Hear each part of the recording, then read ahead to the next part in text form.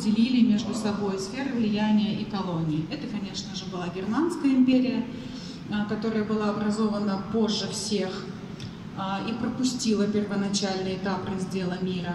И, соответственно, Германская империя вступила а, в серьезные разногласия с Великобританией и Францией. Кроме того, в начале 20 века на политической арене заметно оживились США и Япония. И все эти процессы спровоцировали образование военно-политических блоков. Это Антанта, а, в которую входила Российская империя, Великобритания и Франция, и Тройственный союз, а, куда а, входила Австро-Венгрия, Германия и Италия. Позднее Италия покинет Тройственный союз, и в него войдет Османская империя и Болгария. Таким образом, Тройственный союз будет преобразован в четвертной. Вот, наконец-то, перед нами а, появились представители Антанты и Четвертного а, союза. А, повод для начала Первой мировой войны на самом деле был очень пустяковый и довольно формальный.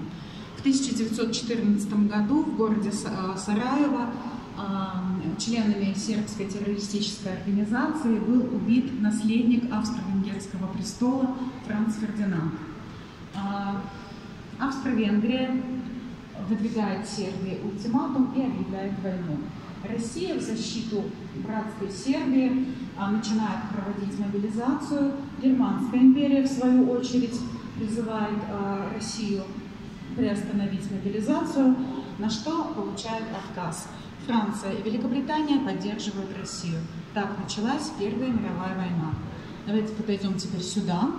Первая мировая война вошла в историю как война моторов. А, можете обратить свое внимание вот сюда, на этот тачскрин, который работает по сенсорному принципу. А, в ходе Первой мировой войны целый ряд армий впервые применили а, технику. Танки, авиацию, бронированные автомобили, а, дирижабли и так далее.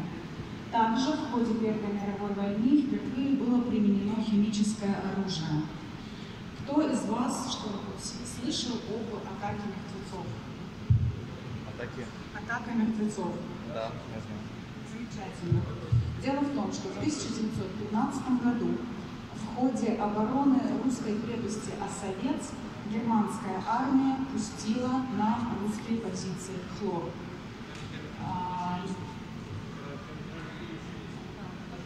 такой вот фильм посмотреть. Да. А, хлор был пущен на русские позиции в 4 часа утра, когда германцы дождались нужного